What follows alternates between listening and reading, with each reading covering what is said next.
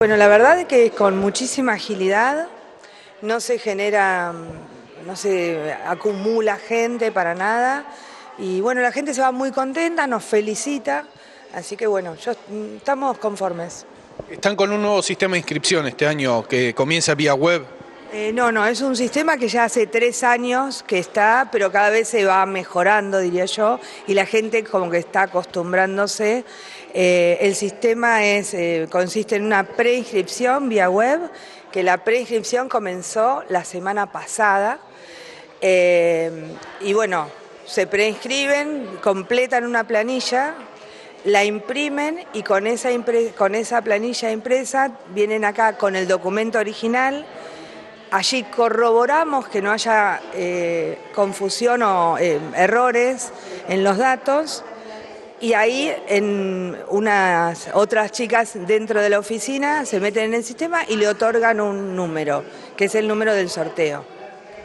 ¿Cuántos inscriptos y cuántas vacantes tienen aproximadamente? Vacantes tenemos solamente en nivel inicial Em, tenemos 60 para mm, el primer año, o sea, para salita de 3, 40 eh, para la segunda sala, que es la de 4 años, y 60 para la sala de 5. Eh, eso es lo único. Todo lo demás es para lista de espera.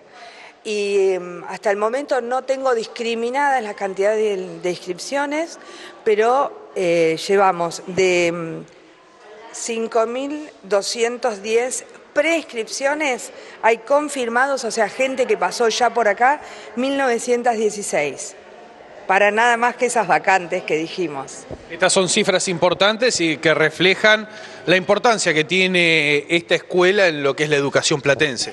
Y sí, la verdad que sí, indudablemente la gente hace que esto tenga mucha, eh, o sea, prestancia, ¿no? la escuela.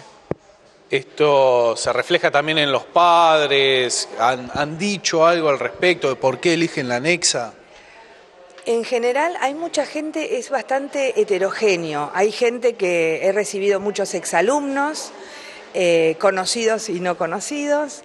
Eh, también hay gente que viene confundida, o sea, como que caminó por todo el bosque porque no sabía por dónde quedaba, eh, pero viene porque le dijeron que era muy importante que era, que era sí, de relevancia la, la, educación, y otros que vienen ya pensando en todo lo que es el circuito escolar, ¿no? porque saben que ingresan en jardín, siguen en una primaria y así hasta la universidad. Eso está bueno.